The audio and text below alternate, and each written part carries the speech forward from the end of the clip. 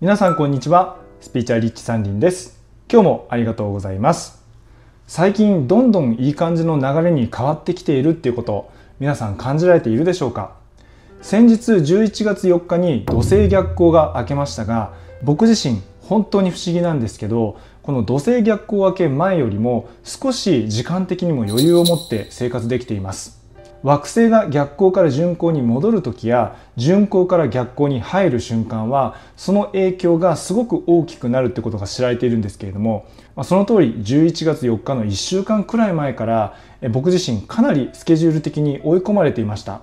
まあ、好きなことやってるんで全然文句はないんですけどただまあ本当時間的にはねきつかったんですよね。先月は普段の動画撮影に加えてコラボ動画も12本撮影しましたし地上波テレビの撮影も実は7回放送分撮影していたんですよね。ま、それ以外にもこの三輪聡としてのプロジェクトもそうですしそうでないプロジェクトも合わせるとちょっと頭の中が整理できないくらいいろんな物事が佳境を迎えていたんですよね。で僕自身月星座がヤギ座ですのでその支配星である土星からの影響を受けやすいという、まあ、そういう体質でもあるんですけれどもまさに惑星からの影響を強く感じた期間でした。え土星って何？逆光って何？順光って何？よく分かりませんという方もいらっしゃるかもしれませんので、まあ、少し天体の逆光と順光について先にお伝えしておきます。先生術の世界では太陽系のいずれかの惑星が公転の軌道や角度の関係で地球から見てまるで逆行しているかのように見える期間があります。これを逆行期と呼びます。それから地球から見て通常運転に見える期間は順行期と呼ぶんですね。まあ、平たく言えば逆行期はその逆行している惑星が司るテーマが停滞したり思うようにうまくいかないことが多いとされています。それで今年2023年は5月頃から本当に多くの惑星が逆行し始めていて火星以外全て逆行みたいな時期もありましたから、まあ、現実面での展開もちょっときついなと感じるようなことも多かったんじゃないかなと思います。ただ先月の10月から年末までのタイミングっていうのは逆に今までしばらく逆行していた惑星たちが徐々に巡行に戻っていくっていう予定なんですね。巡行に戻るということはお金お仕事人間関係美容健康などなどあらゆる物事がうまくいきやすい季節がやってくるということですからここから年末にかけてはどんどん良くなっていくプロセスの真っ最中ということになるんですね。これはワクワクしますよね。それで今日は直近また動きがありそうなので明日11月9日17時8分から11月12日3時39分までの期間と11月12日3時39分から14日11時23分までの期間どんなことが起こりそうなのかということとどんな風に過ごせばこの期間あなたが望む嬉しい現実を引き寄せることができるのかという話をしたいと思います。天体の動きはかなりこの地球で生きている僕たち人間のメンタルや体調それから個人の考え方だったり集合意識にまで影響を与えます。星の動きを確認するいわゆるま先生術といったものは少し先の未来を先読みして準備するにはすごくいいツールですので今日もちょっと分かち合いしていきたいと思います。ではまずは明日9日17時8分から12日3時39分までの期間ですね。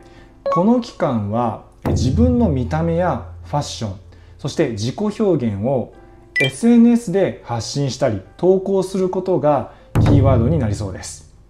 普段何らかブロックがあってプロフィール写真も自分以外の何かの写真を使っているっていう人は思い切ってプロフィール写真をご自分の姿にすることで一つブロックが外れたりだとかあとは普段から SNS 発信していて、まあ、慣れているっていう人だったら文章主体の、まあ、例えば X、Twitter とかブログとかじゃなくって写真主体のインスタとかあるいは YouTube ですね。それから Facebook なんかでも自撮り写真を添えてアップしてみるということ。これをすごくお勧めします。実はこの自撮りですとか自分の写真を撮るということって開運アクションなんですよ。特に自己肯定感を育みたい方や見た目が綺麗になりたいという方は毎日自撮りして SNS にアップしてみてください。まあ、もし YouTube やりたいんだったら自分の姿をちゃんと写して YouTube に投稿してみてください。最初はこれ恥ずかしかったり抵抗があったりするかもしれませんがやり続けるとかなり変わってきます。これ僕の、まあ、とある企画でも皆さんにやっていただくワークとしてお伝えしています。本当に数週間数ヶ月単位で見ていくと皆さんどんどん綺麗に美しくなっていくんですよねもう表情がねどんどん変わっていくんです毎日自撮りをすると表情だったりあと自分が美しく見える角度なんかも自然と研究するようになりますんでさっき言ったみたいに見た目が綺麗になりたいって方や自己肯定感をアップさせたいっていう方は自分の姿をネットに上げてみるということをこの期間はやってみてください。今この話を聞いて確かにそれやったら人生変わりそうだなと思うんだけれどもでもちょっと抵抗がありますと。抵抗感が強い。という方はそれってね実はメンタルブロックだったりしますんでまだの方はこちらの三輪聡公式 LINE に登録しておいてください。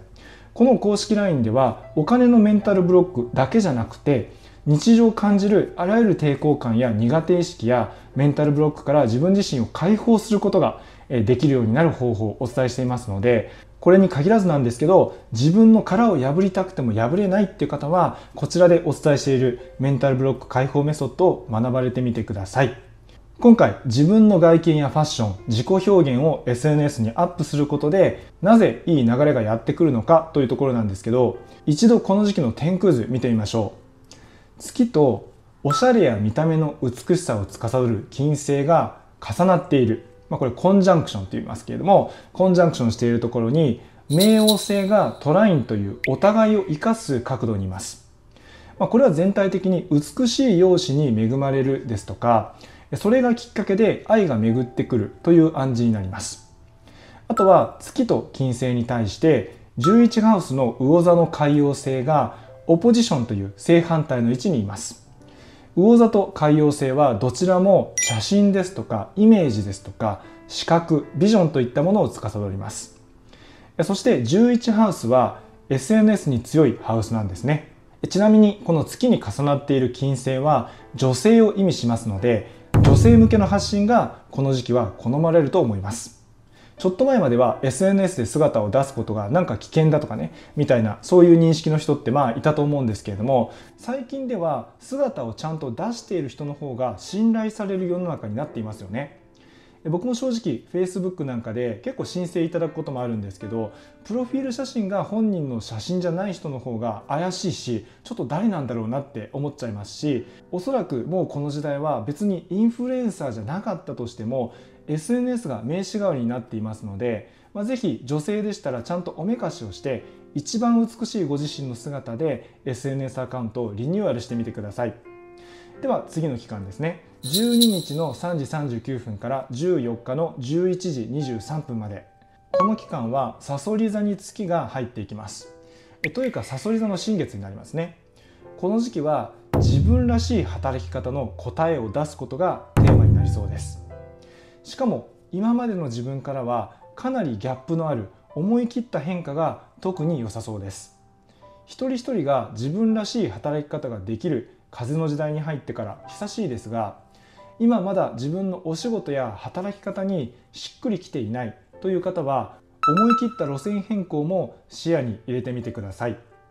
新しい時代が来て久しいのに働くという分野においてまだしっくりきていないということでしたらもうそろそろコンフォートゾーンの外に大きく飛び出してみるタイミングかもしれません。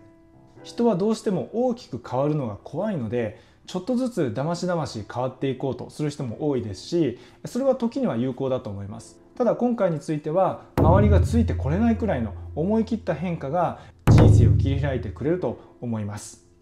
僕も YouTube を本気でやり始めた時は今までの三人さんじゃないみたいみたいな感じで、まあ、賛否両論いただくくらい大きく路線変更しましたしこれも前言いましたけれどもライフコーチという仕事もそれまでいたデザインやクリエイティブ業界からの大きな路線変更の結果ですよね。大きな路線変更は勇気がいるものですけれども勇気を出した分だけリターンも大きいものです。こちら根拠としましては月と太陽の近くに火星があるんですけれどもこの火星って、まあ、情熱なんかを司っているんですけどさそり座のサブルーラーなんで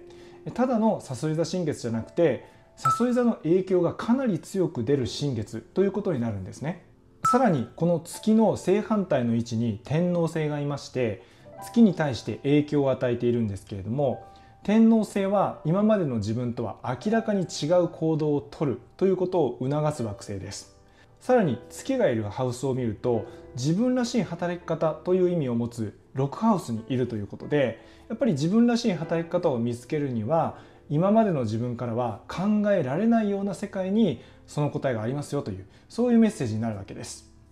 例えば今までだったら絶対にやらない格好をしてみるとか今までだったら絶対に買わないものを買ってみるとか今までの自分だったら絶対に行かないところに行く、まあ、そんな風にあなたらしくないと言われるようなことほどやってみると新しい世界が開けて意外とこれ私に向いているのかもなと感じるようなものが見つかるかもしれません。ということで今日は明日からの5日間で起こりそうなことと過ごし方について分かち合いさせていただきました。今日の動画いかがだったでしょうか？